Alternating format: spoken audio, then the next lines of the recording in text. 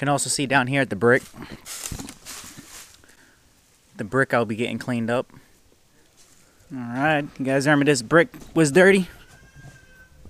Right here at the base. Dirt no more. It is nice and clean.